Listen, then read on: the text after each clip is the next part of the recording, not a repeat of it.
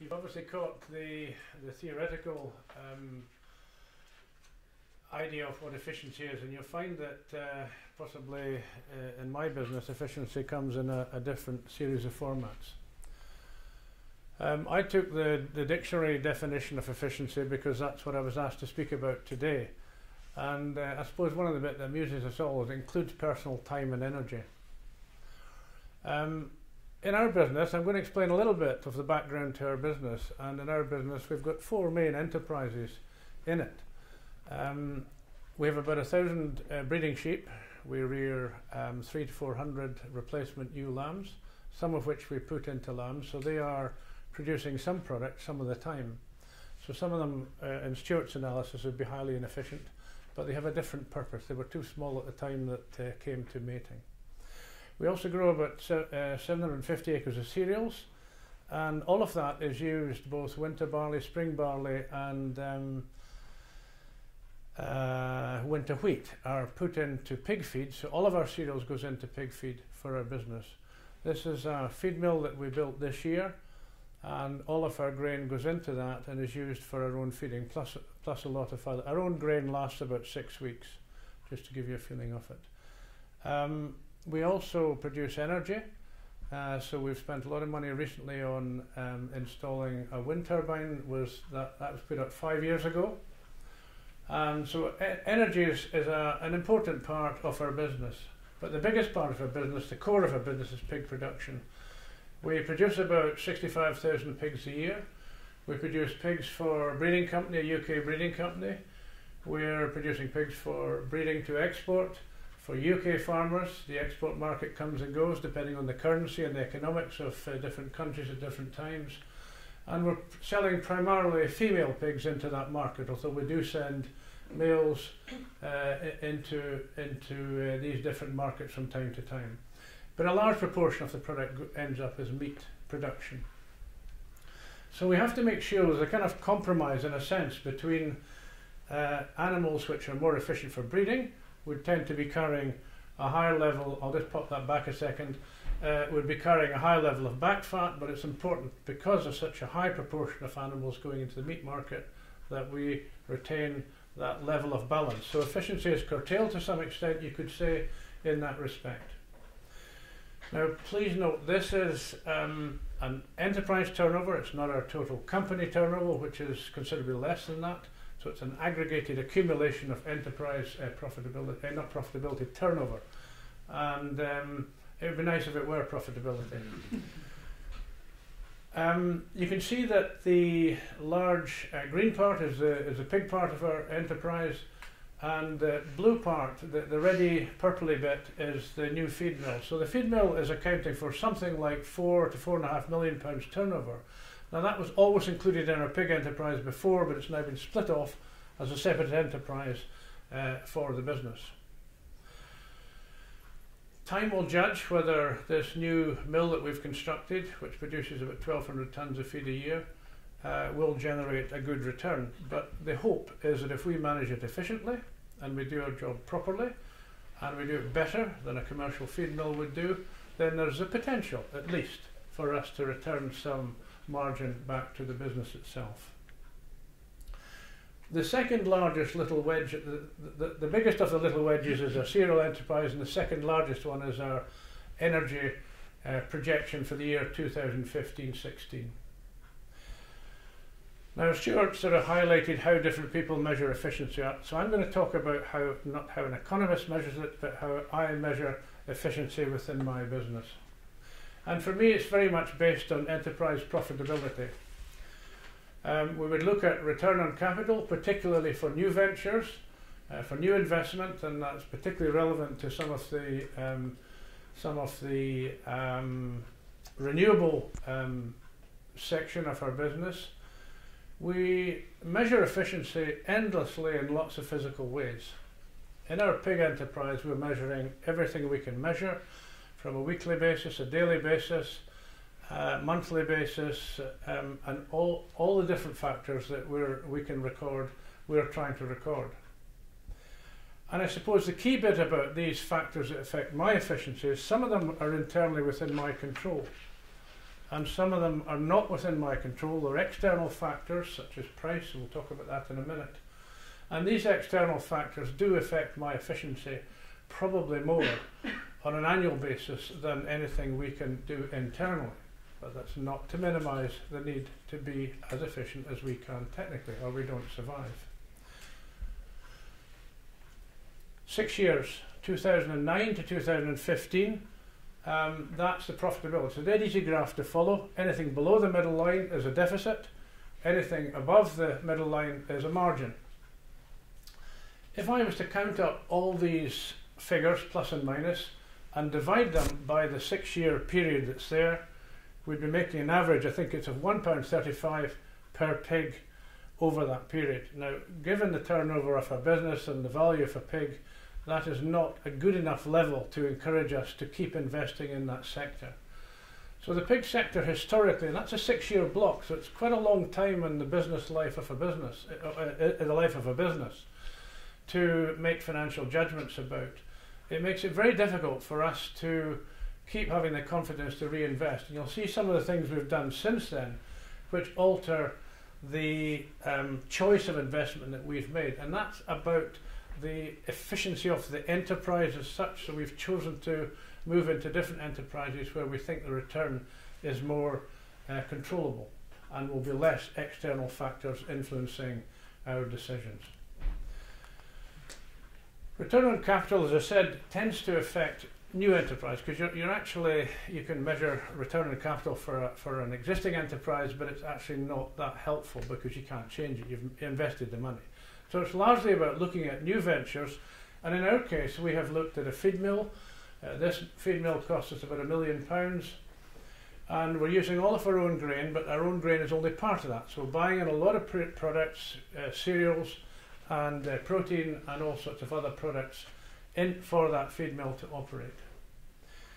We hope that the, provided we're efficient, and that's what today's debate's about, and you can't judge how efficient I'm going to be in there, but it, a lot of that efficiency there is based on turnover, it's based on tonnage out that mill every month.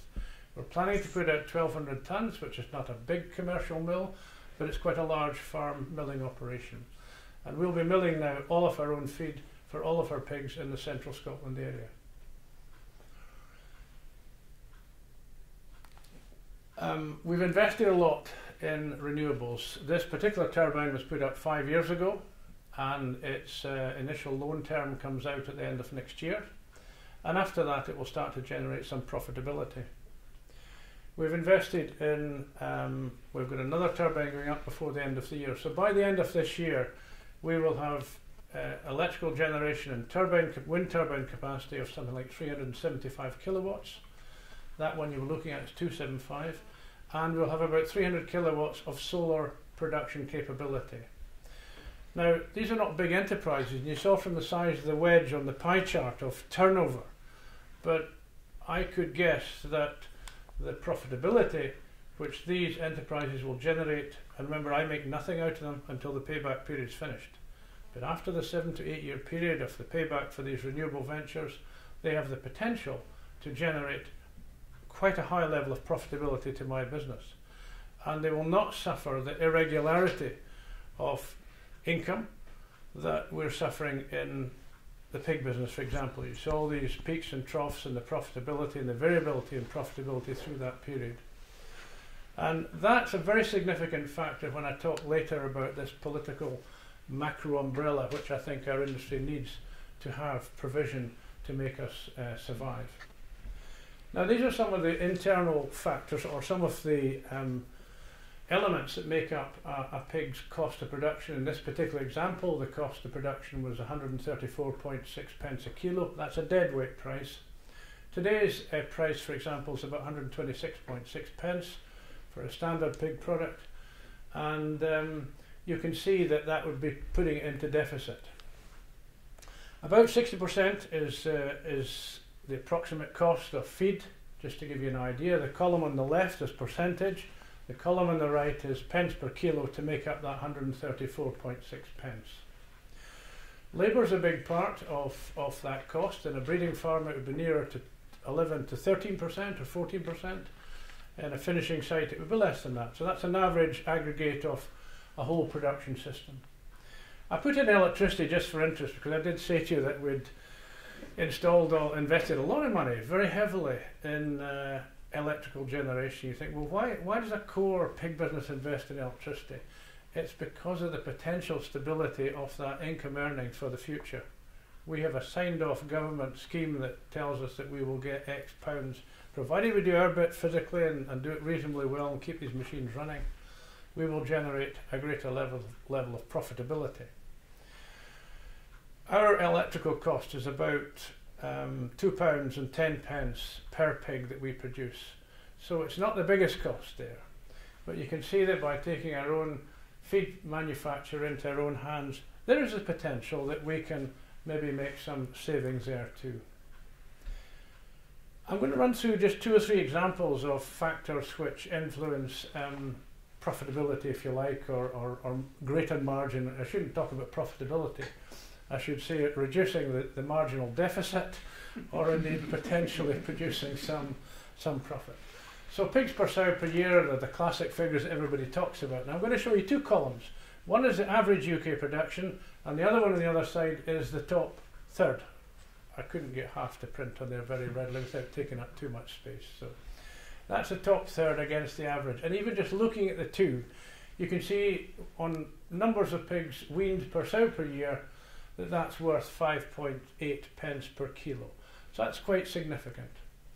Oops, I've gone the wrong way, I'm sorry. Feed conversion ratio, a much, much bigger issue about feed efficiency, because feed we said was 60% of the cost of production. So if you move from average position to top third position, the saving potential is 7.2 uh, pence per kilo. That's not the figure at all. There it is there. 7.2 pence, sorry, it just jumped as I spoke, I beg your pardon, sorry. And then daily live weight gain is, is, is important, but not quite so important as feed uh, efficiency. Um, and that gives you a total on these three factors of moving from uh, average to top third of something like 14.6 pence per kilo. Now that's life and death to a pig farmer, really quite a critical life and death. So it's very important that all these physical factors these physical efficiencies we're talking about today are put in place on a daily and regular basis, and there's no scope to miss out on these. In my business, for every plus and minus, and remember it's plus and minus when it's when it's plus, we uh, our business moves fifty thousand pounds per year, every single penny per kilo dead weight. Now, pig price can move ten pence in a in a period of, period of months quite readily. Plus or minus ten pounds per ton of feed is approximately £160,000 per annum in our business. So these are big figures and you can see how our profitability can surge and flow very readily. And that creates a real sense of discomfort for a business like ours trying to decide where the investment will go. I've said to you in the last five years we've invested more in, in renewable technology than we have in new pig facility. Now for a core business or a business whose core is in pig production, I find that quite sad. And there are a heap of reasons why I think it makes it difficult for us to invest seriously in good technical equipment for the future because we don't have that confidence level and some of the reasons I'll come to in a minute. I think we don't have, for example, in the UK, what I call this macro political umbrella.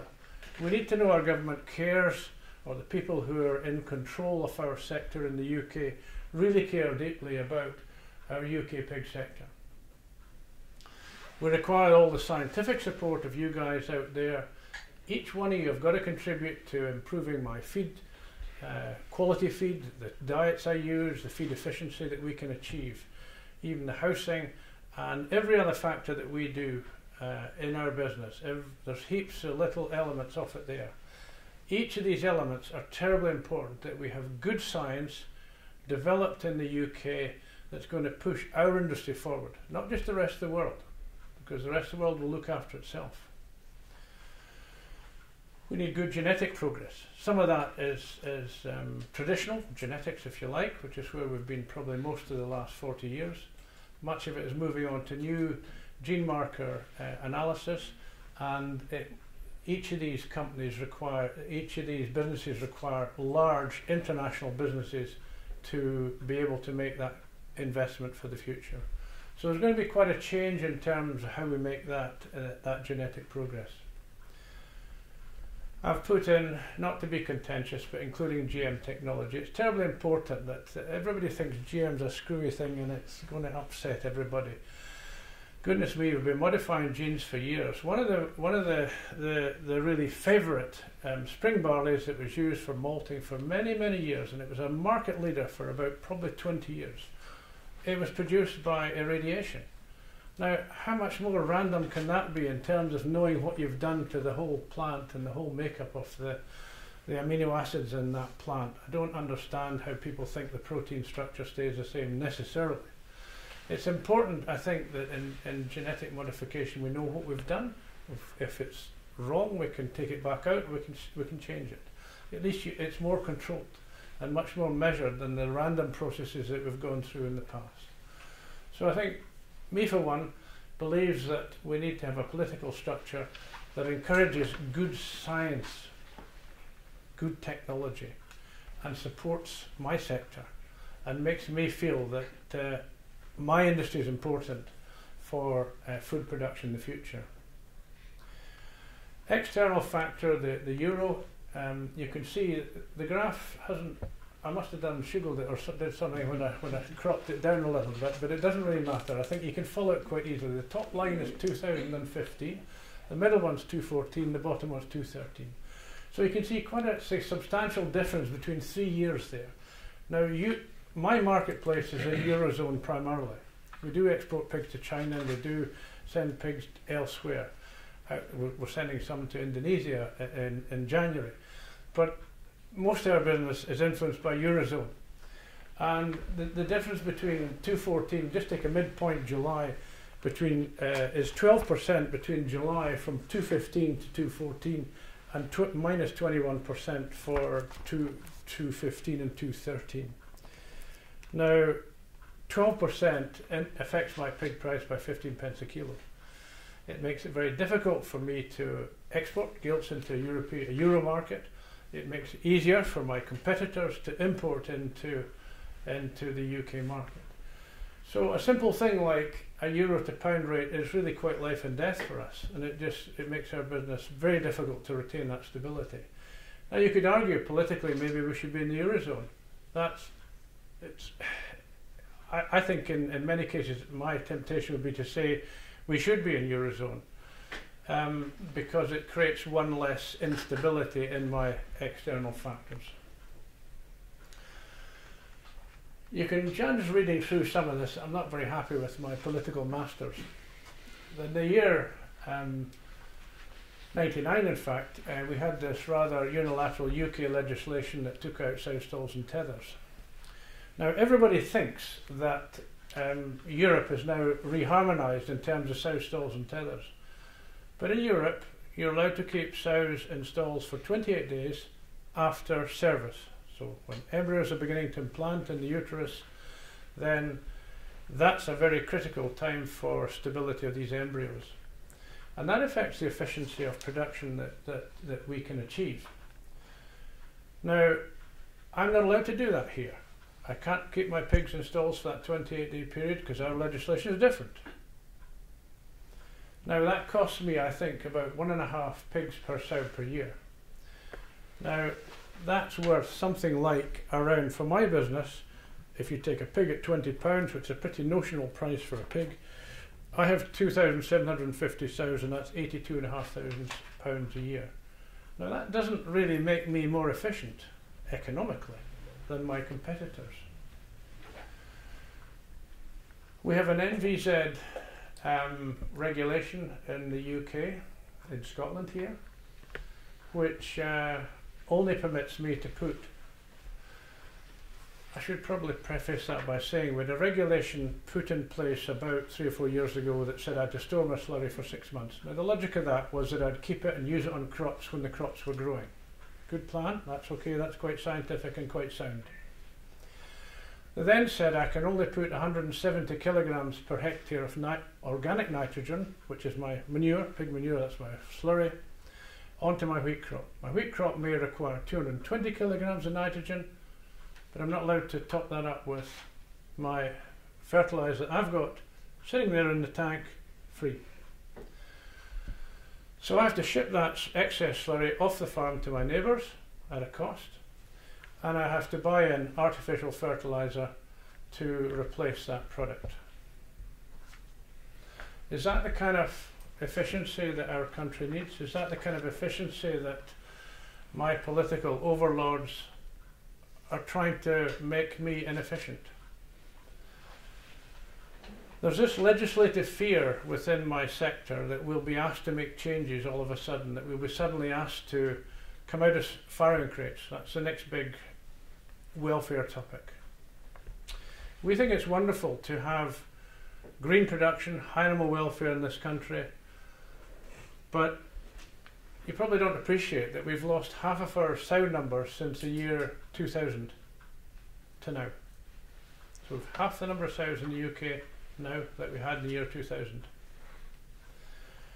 Now my guess is that much of that started with the stall and tether ban. We've got a fear today that we might lose farrowing crates. Now what does that mean? It makes us uncertain about investing in particular technologies today.